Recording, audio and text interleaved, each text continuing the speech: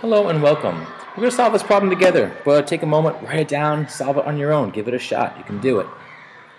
Alright, let's read the problem. It says which exp expression is equivalent to 4 to the 7th times 4 to the negative 5th.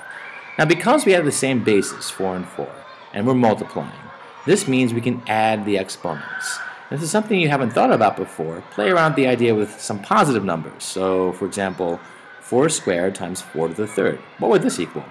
Well, 4 squared is 4 times 4, and then we're multiplying that by 4 times 4 times 4, 3 fours. So we can think of it as 2 fours being multiplied by 3 fours, or we can use the associative property and put them all together in one big group. And instead of instead of being 4 squared and 4 to the third, we can think of that as 4 to the fifth. It's 5 fours. So 2 plus 3 is 5. Now once we accept that, we can work on that even with the weird kind of negative numbers, and this is 4 to the second, because 7 plus negative 5 is 2.